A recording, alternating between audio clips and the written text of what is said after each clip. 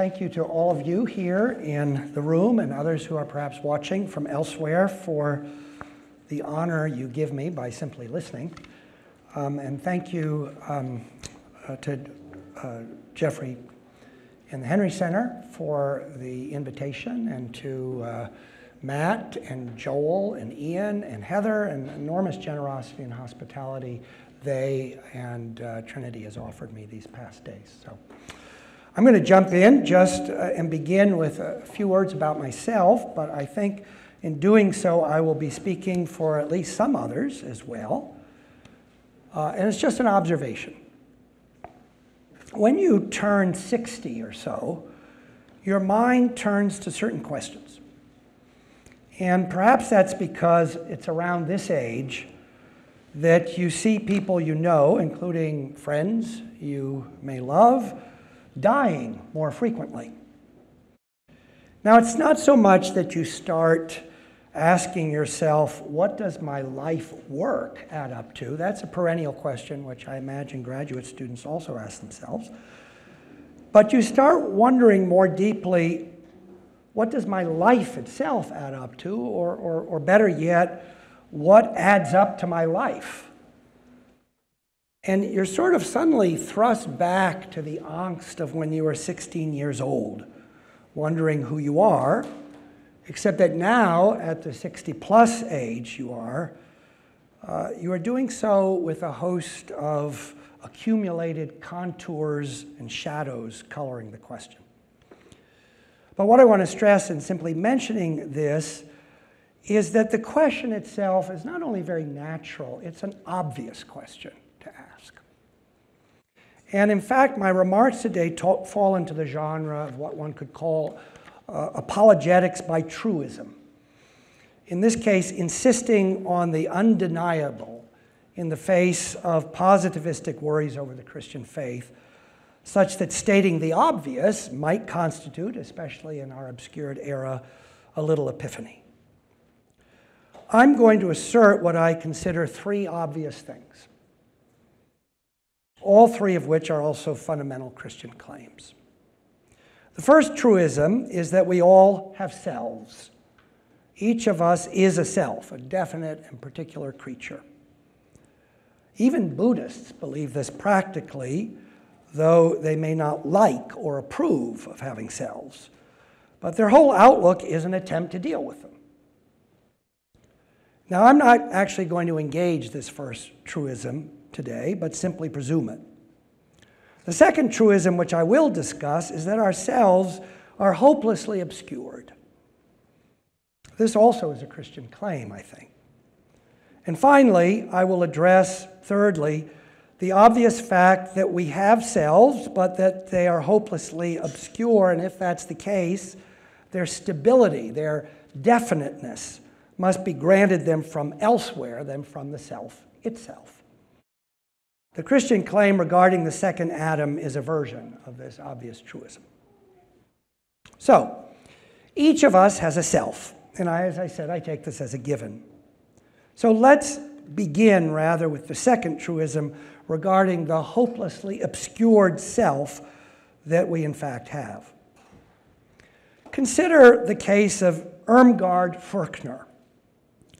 Last month, the newspapers were, at least briefly, caught up with the story of this aged German woman who, now at 96 years old, lives in a home for the elderly. She had been recently identified as the same woman who, when she was 18 and 19, worked as the secretary to a Nazi camp superintendent, Paul Werner Hoppe, at the Stutthof concentration camp in the Baltic. She was now being charged with, quote, aiding and abetting the murder of 11,000 persons. And she did this by being, quote, tasked with reading, sorting, and writing letters and telegrams on Hoppe's behalf, as well as sending radio transmissions, unquote. The story made the news because Furchner had somehow escaped her old age home before the trial and gone on the run whatever that means for a 96 year old woman. Okay, so how do we define Furchner's identity as a person who is criminally liable? She is, in fact, and I, she was found and brought back, and the trial started last week, I believe.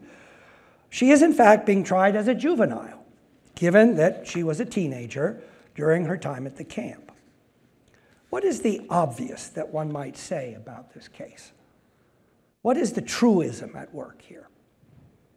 The legal system has its own ways that I would not necessarily question, but one wonders what is going on really at the root of Furchner, now almost 100 years old, who was a legal juvenile at the time of her alleged crimes.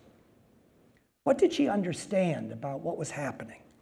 Who explained it to her and how?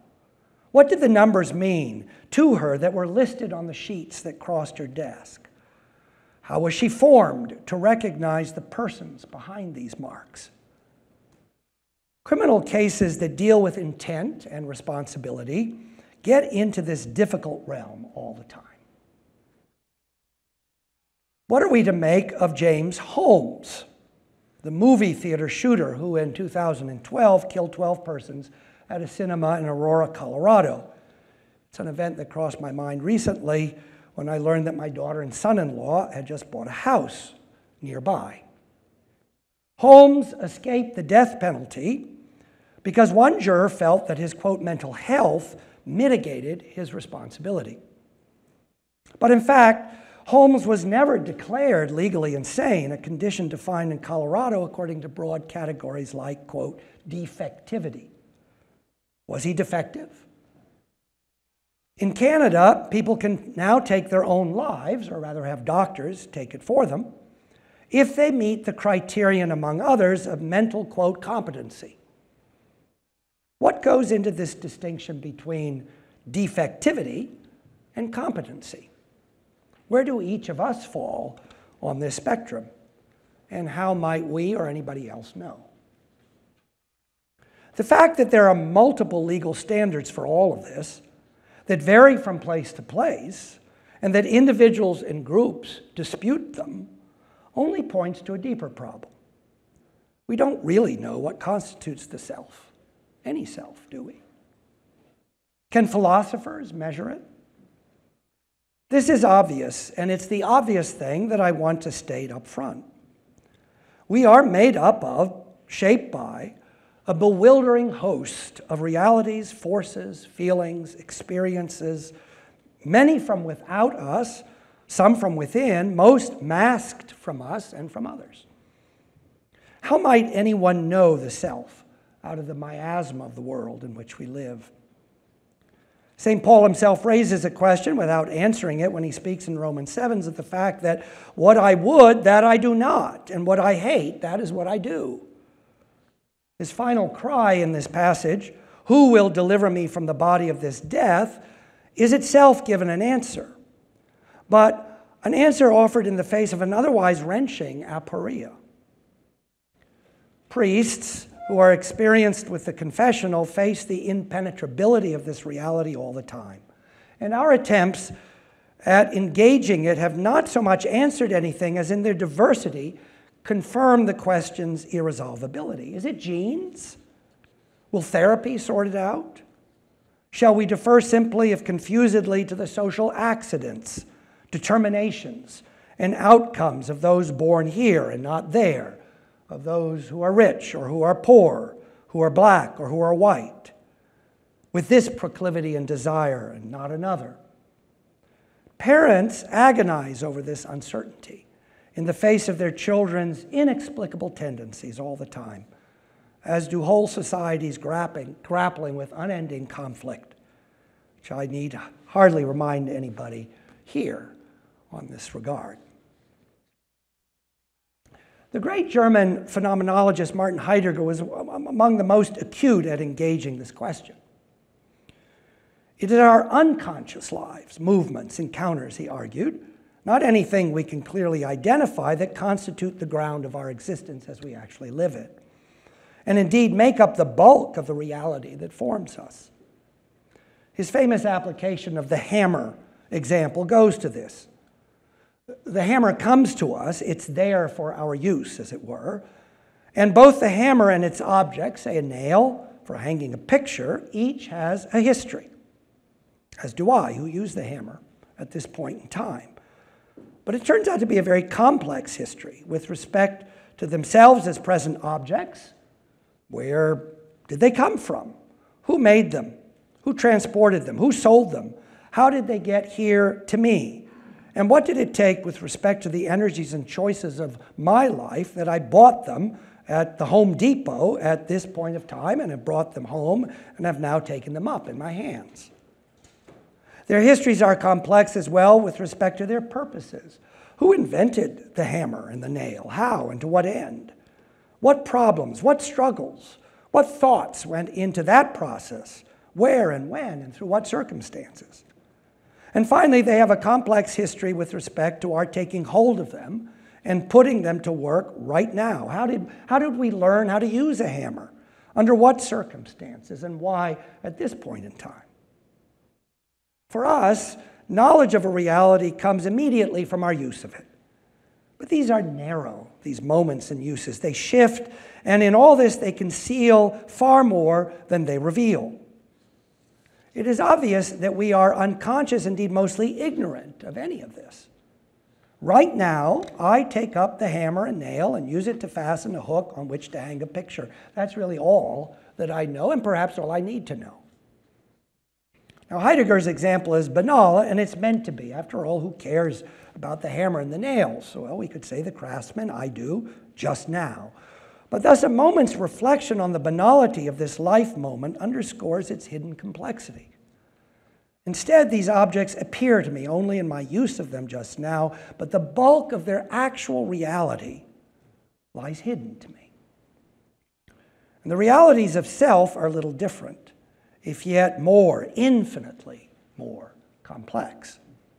And this obscure complexity becomes the challenging, even often the frightening foundation of my existence. I am a bundle of world realities of which I am mostly unconscious.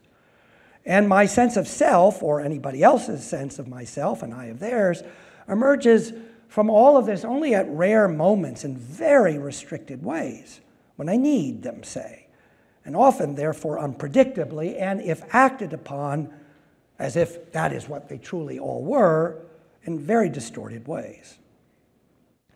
While Heidegger himself sought ways to stabilize this grandly skeptical view of the self and knowledge of it, grandly skeptical, skeptical it was.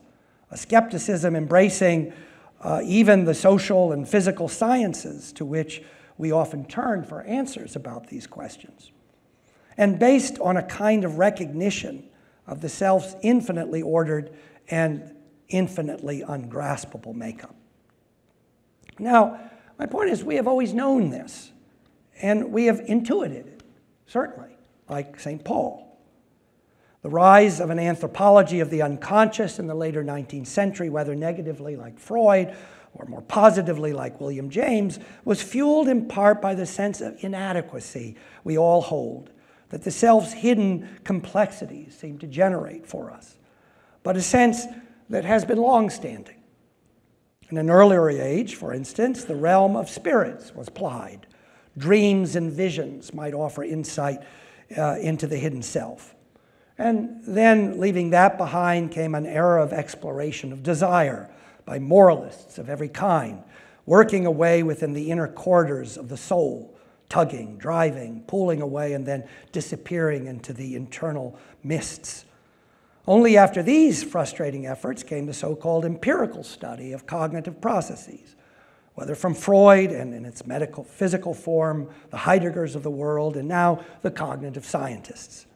Each of these exploratory trajectories, intellectually, unveiled more and more of the secretive forces that shape the self, but in doing so only rendered less and less clear what the self might actually be. Are they ethereal beings, distorted pressures of heart and society, thousands of unremarked yet formative encounters with the world, each receding into the endless chain of generation? Are they chemicals rushing in and out and through the hidden resource recesses of our tissues, and then simply the constantly changing world that marks our living forms among and towards other arcane selves, each forming their own worlds as they refashion ours. We do not belong to ourselves, quite literally. Take away the world, take away other human beings and their worlds, most of which we do not know about, let alone understand, and we disappear. I can think of no more important natural moral claim we could make about personal reality. All the legal and medical and ethical templates we might apply to a human being are but stopgap measures to avoid falling into a paralyzing abyss of shrouded ignorance about what owns us. They are but pragmatic fictions, you could say, whose use we discover over and over again can be as destructive as it is sometimes facilitating. From the so called competency beside, behind self murder to the defective calculus of killing others. There's a contemporary word drawn from modern physics that has become popular in metaphorically describing all of this. The word is entanglement, as in the entangled self. The scientific origin of this metaphor is important, for it implies that such entanglement is physically grounded, and that we can recognize its incomprehensibility simply by counting up and projecting the various relationships of a human person to its history and context, and even its material context. These eventually expand without measurable end. Philosophy exhausts itself in the face of such entanglement, but entanglement is also religiously problematic, since the entangled self must, by definition, lose any recognizable integrity. The struggle by individuals and societies to maintain a scientific vision and a defined religious commitment at the same time has generally been a losing one in the contemporary era. And those who have explored entanglement as a theological vision, in our day most of all, have usually ended up as materialist pantheists at best. The defined self, in the face of its empirical obscurity, is either an arbitrary, and often tyrannically arbitrary construction, or rationally Promethean, we might say, or it is simply gobbled up by something else energy, matter, spirit. They are two sides of the same coin. So, the social dangers involved then in adopting an entangled view of the self are extreme, Heidegger himself being an exemplar. His sophisticated search for the conscious self through an ascetically voluntarist erasure of the inauthentic, from his point of view anyway, in fact ended by giving the self over to other forces, because one quickly discovers you can't do it all on your own. In this case, in his case, National Socialism and its ideologies, whose character proved overwhelming. Our identification in the West of modernity's challenge liberalism's high valuing of individualism and autonomy, much discussed, may itself in this light be a misinterpretation. Is not our liberal culture's assertion of the self's liberty nothing but a reaction to the spread of confusion and anxiety about the self in the face of its perceived dilution into the sea of unharnessed influences and claims? We are all trying to define competency and defectivity, you could say, all the time. But the more we know about ourselves, the less we are able to do so. The search for the true me is always done under the shadow of the voracious and unknown other and its infinite number of siblings. The shift in our current public policies to prioritizing the collective and the systemic is both comprehensive across the political spectrum today and rightly unsettling to many. The search for autonomy by the entangled self seems to lead inexorably to a self discovery as a collective submersion, two sides of the same anxiety. As I said in opening these remarks, I want to, I want to stress how Christian normalcy fits the character of the world as we know it. I want to state the obvious. There's a long scriptural history of the unknown self, if we but pause to note it. The garden, where neither Adam nor Eve seem to have a clue as to the forces that shape their desires and choices. Cain and Abel, caught up in the violence of a sin that lies, we are told, crouching at the door, present yet unseen. And on we could go, one story after another of moral confusion and motivational mystery. So that when Jeremiah calls the human heart deceitful above all things, literally crooked and intricate, as in the crooked valleys that will be made straight in Isaiah 40.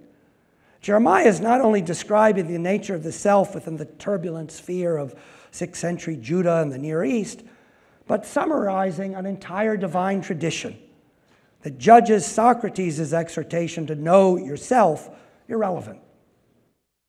The judgment of the self's opacity is lodged in both the Old and the New Testaments.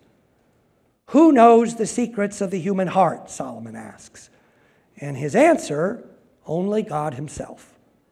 Quote, For thou, even thou only, knowest the hearts of the children of men. It's 1 Kings 8. So there is a self, you and I have selves. But God only knows what it is. And it's important to get this basic claim right. Only God knows myself, ourselves.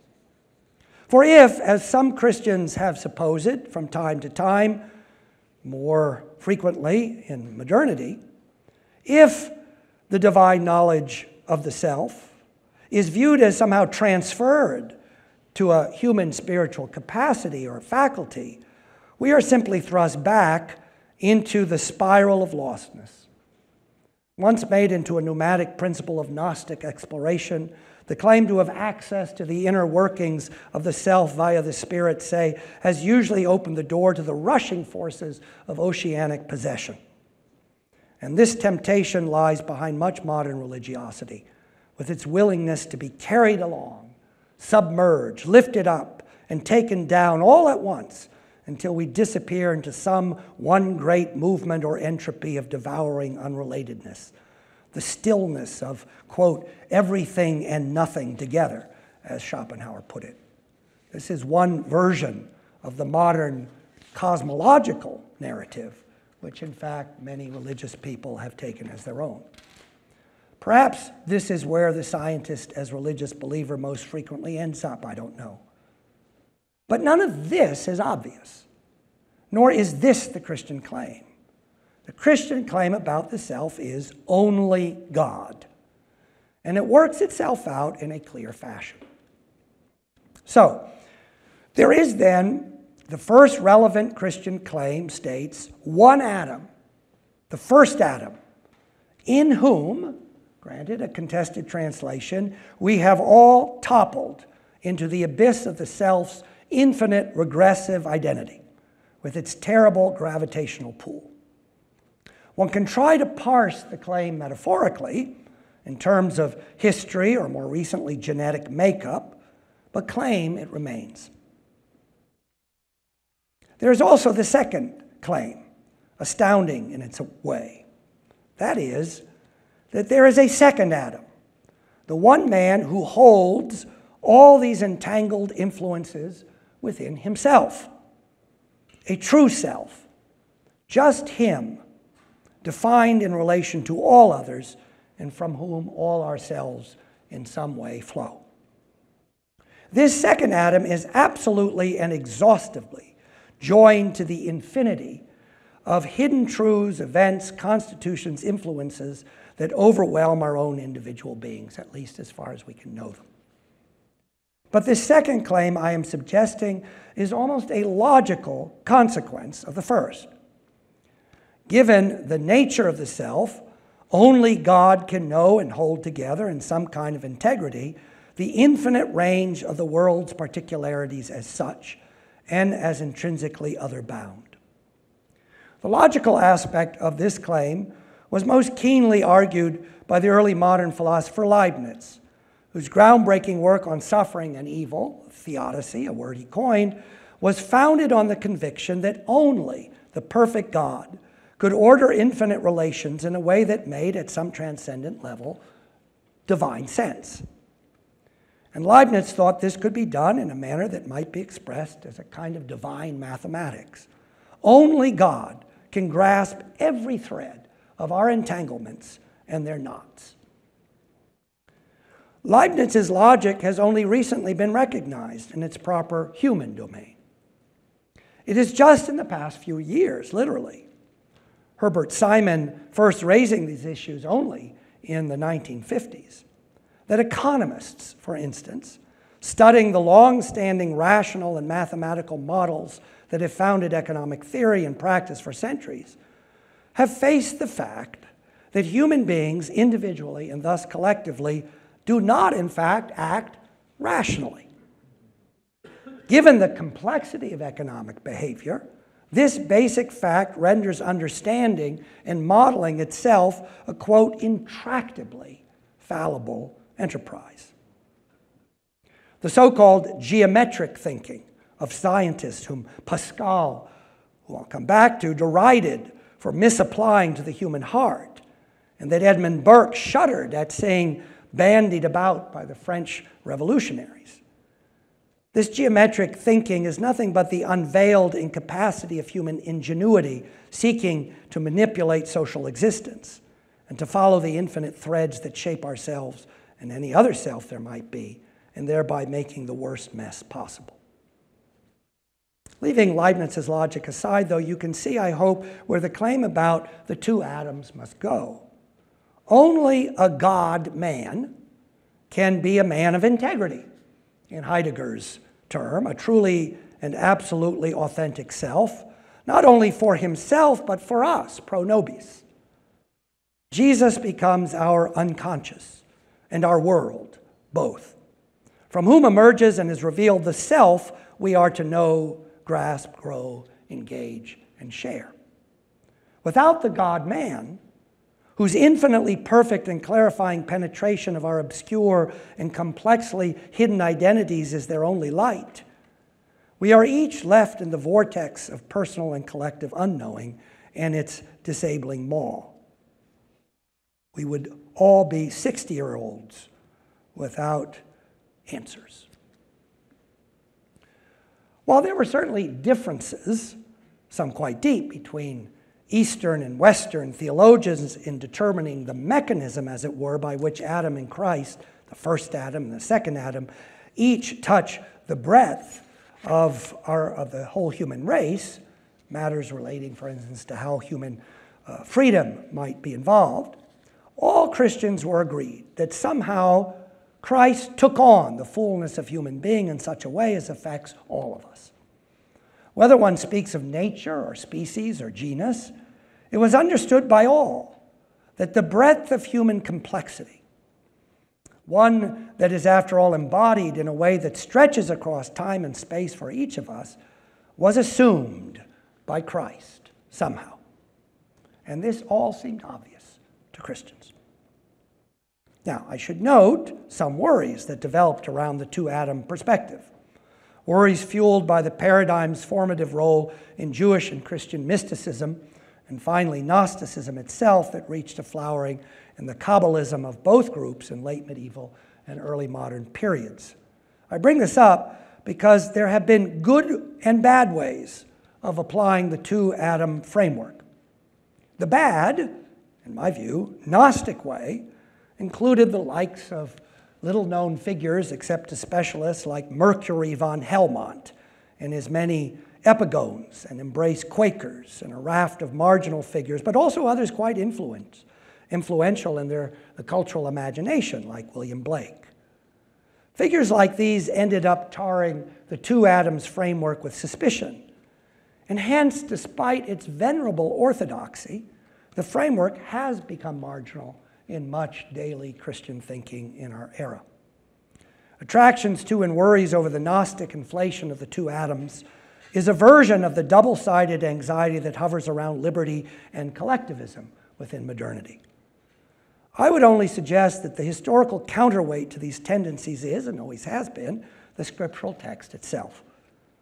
The defense against a slide into Gnostic rediscoveries of singularity through self denying collectivism lies in the particularities of the scriptural history.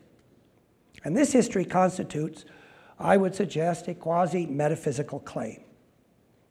The self we struggle with and do not know is all the old Adam, the first Adam, that dissolves in the mist of history and genetics and blaming and guilt. Can I say this? It is because the first Adam is the Adam of our this worldly selves, our fallen selves, that we have so much trouble in our biblical historical disciplines even knowing who he is, this first Adam.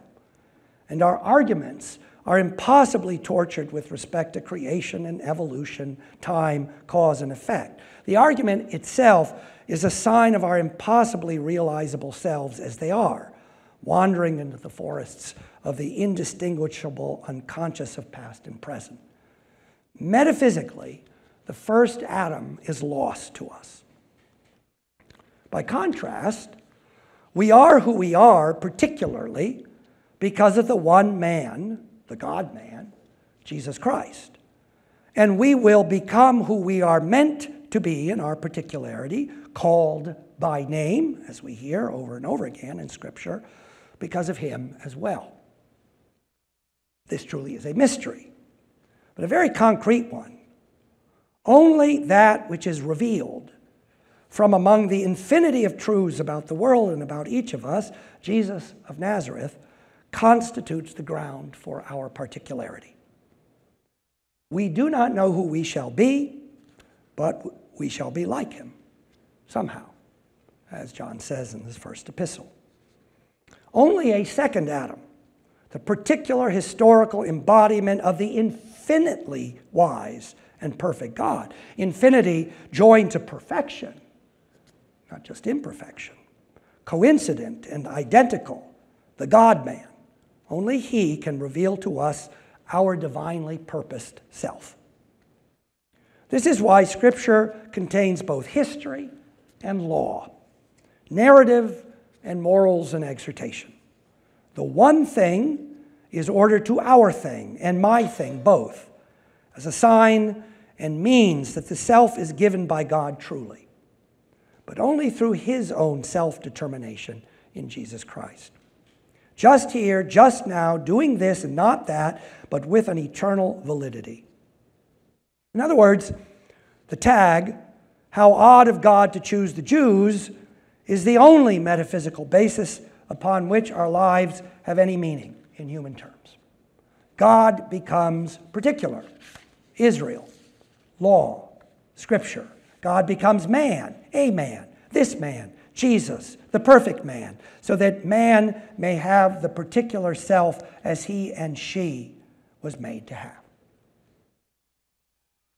So there is clearly a first Adam, whom we do not know, nor do we know his progeny, that is, ourselves.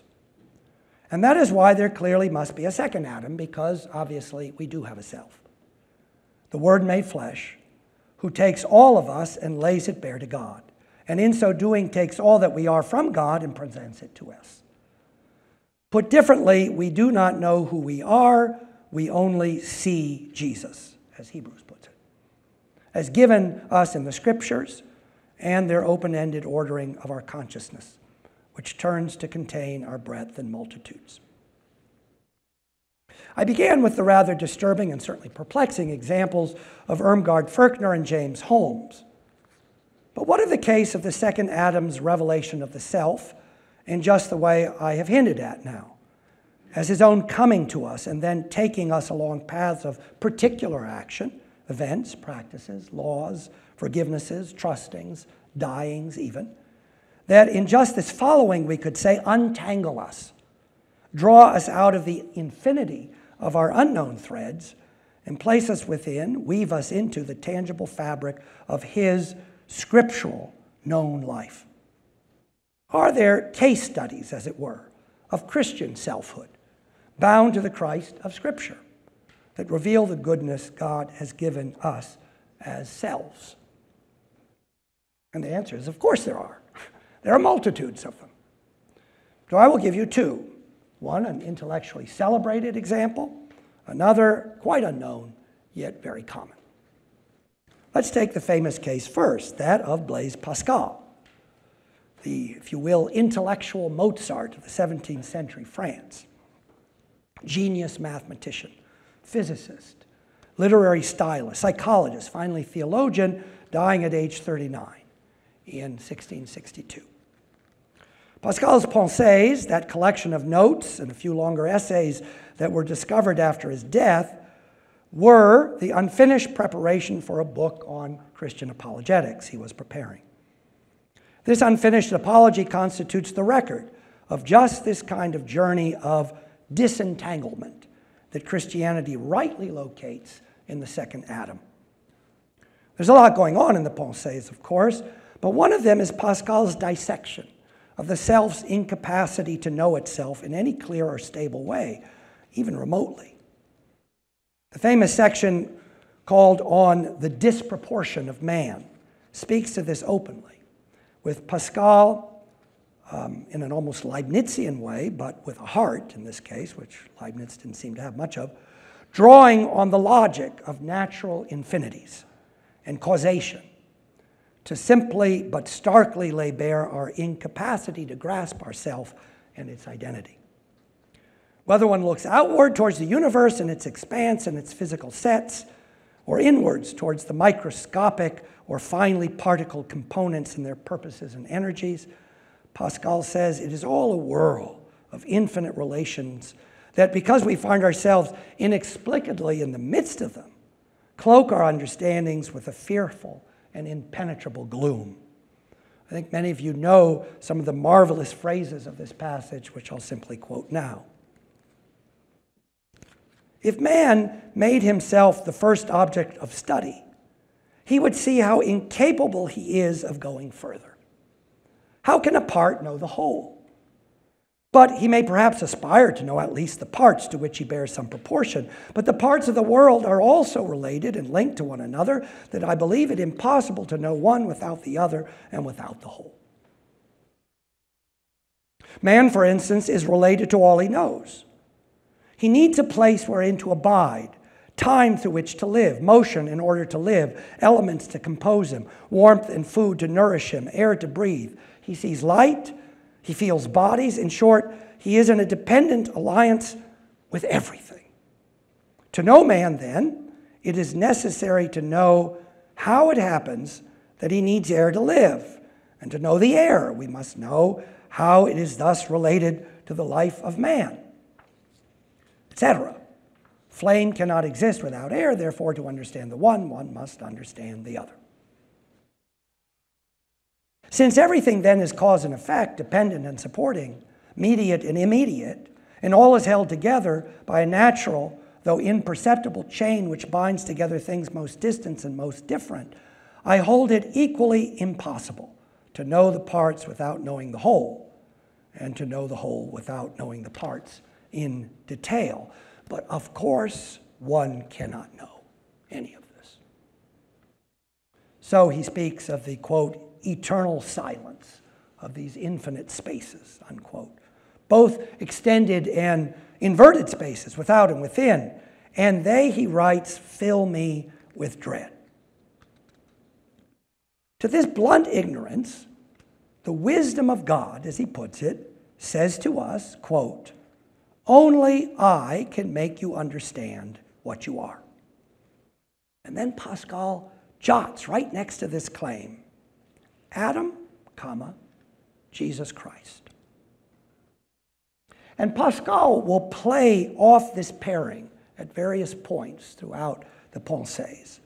But the fullest comment is in an unrelated text that was not part of the notes for the Apology, but discovered only 200 years later, and today known as, quote, the mystery of Jesus, which you may be familiar with as a particularly famous passage. This text by Pascal, though, is but a long list of aspects of Jesus' passion. Jesus suffers. Jesus seeks comfort.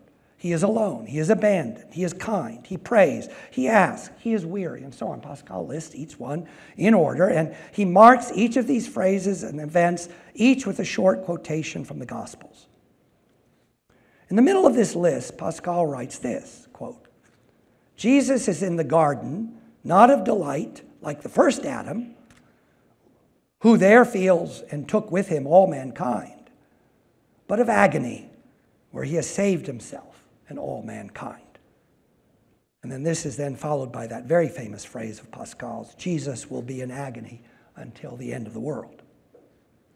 But at issue is, as I've been suggesting, the obvious way in which the second Adam must comprehend all that we cannot about ourselves.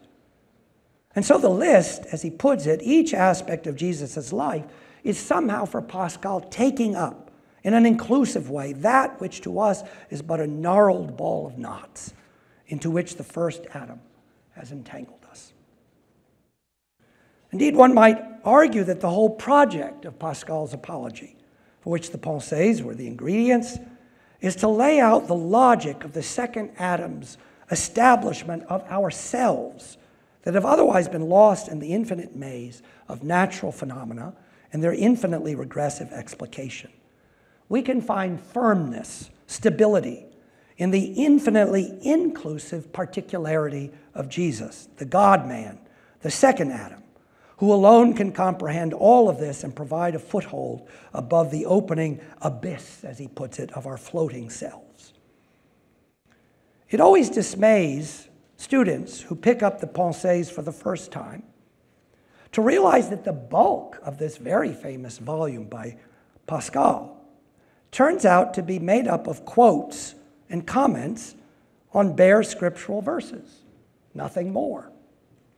Just as it is a surprise for those who know Pascal's wager argument, the most famous part of the Pensées, only in the form of the gambling probabilities, betting on the infinite God who brings by definition more probable winnings than betting on the nonentity of an opaque self cast into the midst of an inert cosmos. It comes as a surprise to students to discover that the discourse on the wager immediately continues with an exhortation simply to go through the motions of the Christian life. Go and attend Mass, he says. Go and say the prayers. That, according to Pascal, constitutes the probable bet one should make. For after all, what makes us infinitely complicated is a labyrinth of our motivational passions. But by contrast, the habits, the motions of a scriptural life alone, bound, so the argument goes to the life of Jesus, the second Adam, only that can elucidate who we are. Pascal's entire apology was based, as it were, on this insight that Adam gives himself over to the second Adam. And he, Pascal, or any person thus given over has found him or herself only there as God's own. To move much more briefly to a contemporary and, if you will, quotidian case, quotidian at least in Africa. I sit on the board of a small Christian organization that promotes sexual abstinence outside of marriage and that initially organized its work in East Africa in the face of the AIDS HIV pandemic that began some decades ago. The work is led by local young people who visit secondary schools and give presentations to the students, answer questions, provide a space for testimonies, and the rest. I've accompanied them on a few times, and once in Uganda, met and heard a young girl, perhaps 15 years old, give her testimony after making a commitment to abstinence. She had begun the session, however, by asking the leaders, and here we were talking about a, we're talking about a public discussion in front of dozens and dozens of her peers. She asked, What can I do? and then explains. She was in tears, explaining the whole dilemma she found herself in. Her dependence on her uncle's money to pay for her rural school fees and school equipment, and the sexual demands her uncle made on her in return and then a young teacher's similar demands while in school in order to forestall poor grades and thus expulsion. And these were sexual demands to which she, however forcibly, finally assented.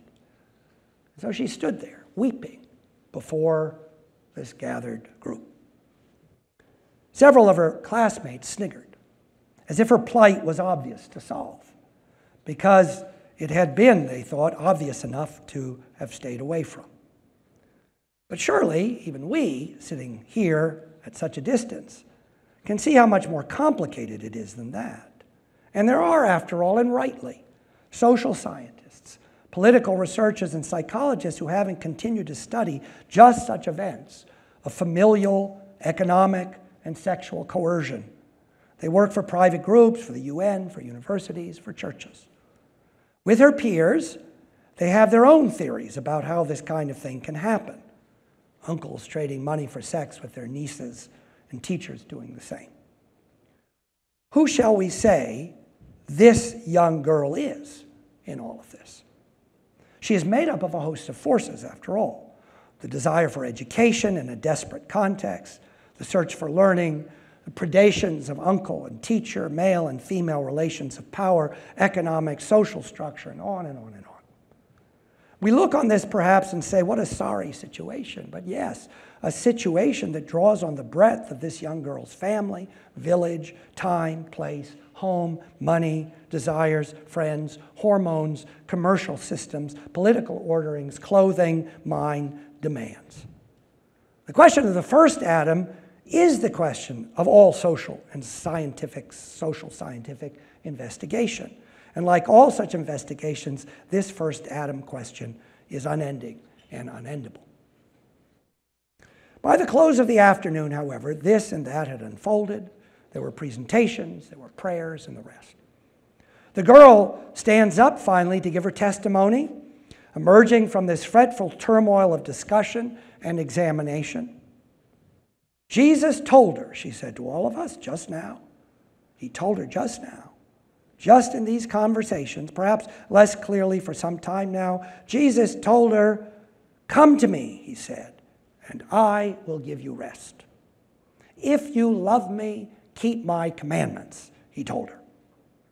She was, of course, quoting two well known Bible verses that she already knew. But she went on, I have decided to speak to my pastor and to resist my uncle and my teacher, come what may. And then she said clearly, That is who I am. And she began to cry. But with a declaratory voice, she said these words that took the hundreds of other young people listening aback. Now, this is not an unusual story. That's the point. Even Augustine recounts how a converting voice told him to take up and read. And he happened to have some good mentors in Christian communities who led him. So, first of all, the girl's witness that I observed was one simply of straightforward advice given to her by those with whom she spoke. This is what Jesus says go, uh, go and do this, go talk to so and so, don't do that. Here's how this can work. Here's someone else in the same boat, etc. And secondly, was also a simple conversion story of sorts. But either way, my point is that it is now herself that she has found in Him. All ourselves are there. And if this were not so, ourselves are simply lost in oblivion. Those who turn their face away from the second Adam have turned away from their own self. There's more to redemption, redemption from sin itself, than this turn, but it is all related.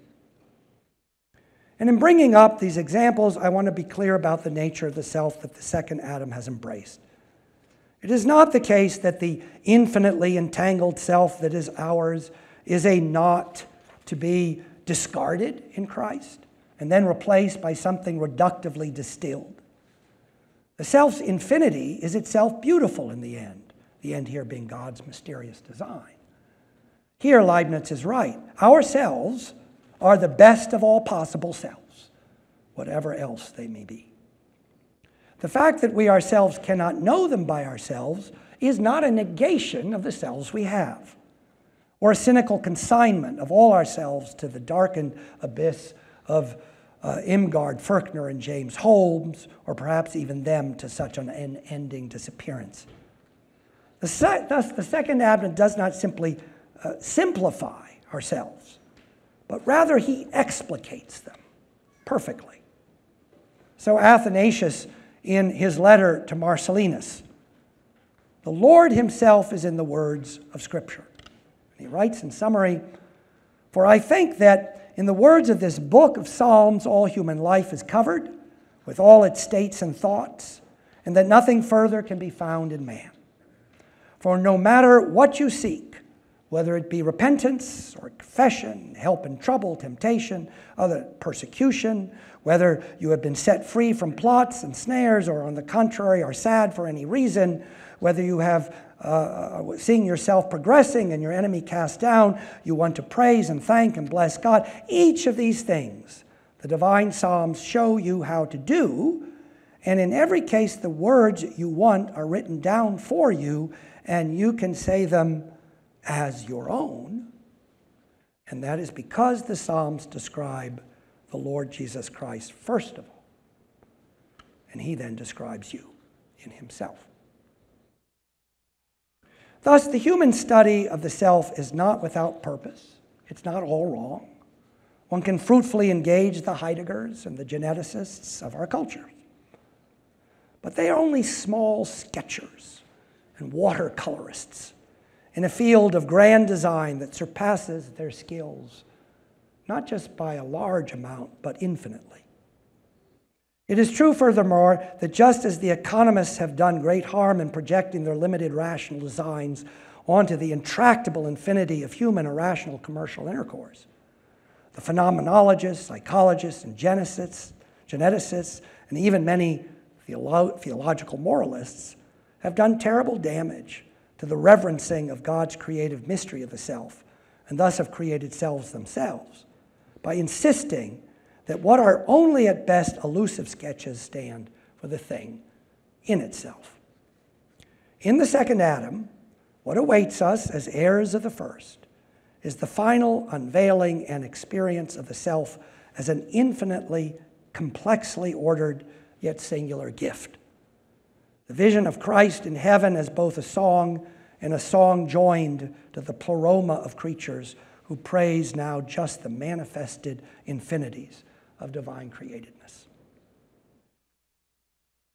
But for all this, for all my technical blather, I want to stress again it's a completely normal way to grasp the Christian gospel's articulation of normalcy itself. One that phenomenologists, psychologists, economists, and criminologists all intuit, yet have shrunk, it seems, from admitting. The point is not purely apologetic. The normalcy of the Christian faith is important to stress in the midst of a world and society that has lost itself in the shadowed recesses of selves it can no longer identify. To this, the Christian says, Here I am. Lo, I have come to do your will because Christ Jesus, the second Adam, speaks this on our behalf. This is the gift of stability the second Adam both signifies and brings into the world of selves. Thank you.